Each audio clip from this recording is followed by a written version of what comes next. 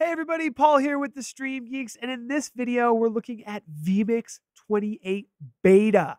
Check out some of these cool features that are coming out. This is the new vMix Beta. We've got instant replay running here, and we've got a telestrator, so I can actually draw on the live video with a touch screen that I have here in front of me. Check out this touch screen. This is running the vMix Telestrator. Not only does this Telestrator give me live video preview wirelessly on a touchscreen, but it gives me the ability to annotate on top with all of these cool tools for changing colors and doing cool things. It also allows me to have buttons down here.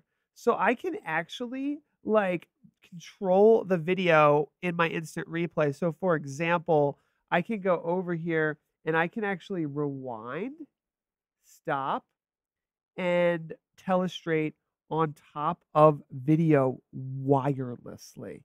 So this is just like mind boggling. This is included in vMix 4K. It's included in vMix Pro and vMix Max. So I want to go over all my favorite features of vMix 28. This is the beta. So we've got it running on our kind of non-production PC, just as it's working through any kinks that the beta has. But let's jump into it. So number one in our you know tour here is the telestrator, and the telestrator needs to be set up in the settings area. So you'll see in the web controller here, this is an IP address that vMix serves up on your local area network. You can connect to it with any web browser on any computer on your local area network. Now, um, one of the things here you'll see is that we have the telestrator enabled here. And we can choose a video source to use with the telestrator. I have output 2 here. And you can see that we're allowing it to be accessible over the network. Now, you can set a password for this telestrator, which might be smart if you're at a school or a corporate location just to, for security purposes. But you can see here, now that the telestrator is enabled, you can add an input for the telestrator. And I've done that already. So I've got this input here and I have it set up for overlay four. So I can very easily start to annotate on top of video with my telestrator. And this right here is just a simple Google Chrome browser bringing up the telestrator. Now, one of the cool things I found out about the telestrator is that you can also have 10 buttons down here at the bottom. And one of the things we've really wanted to do is to create a really great like sports streaming system here, especially for like coaches to be able to look at wirelessly. And that's what this does. So we've got a play button here, a pause button here, a rewind button. So we can literally rewind an instant replay, find the area that we are looking at.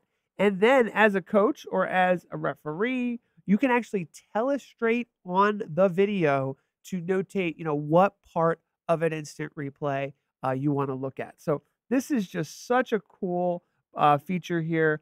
We've got the ability to change our colors. So we can change the color we're using for our telestration. I'll probably pick a nice bright yellow is great. I'm going to keep it on that. But you can see here lots of different options for colors. We have the ability to pick the like the thickness of the lines. We have some shapes here, so we can you know do some of the really cool shapes, circles. I'm going to clear all this. Obviously, you can clear everything and reset. You can also drop images.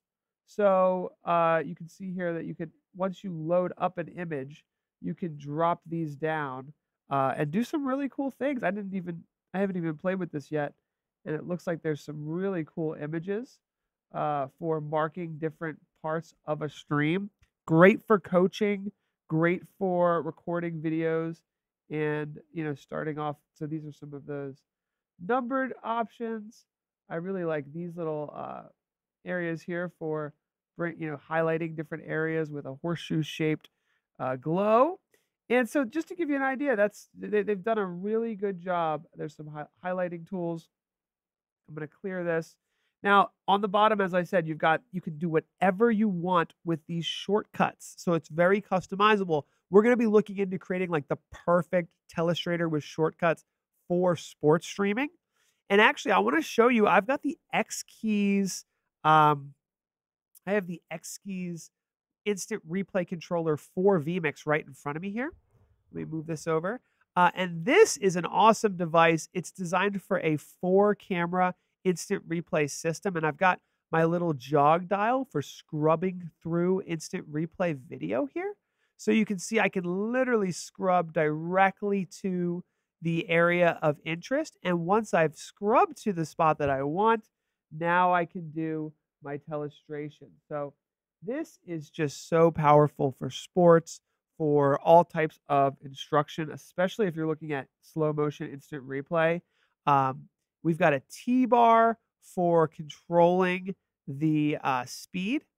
So as I'm playing back an instant replay, if I hit the play button here, I can change the speed of the slow motion. Now, when you're doing slow motion instant replay, just a tip here, you usually want to have at least 60 frames per second uh, so that you have nice, smooth instant replay.